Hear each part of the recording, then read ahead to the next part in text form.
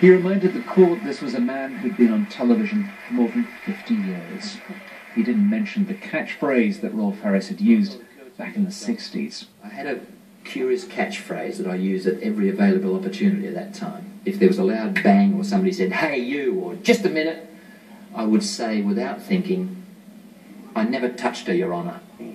It was a joke, but you have no one to blame but yourself.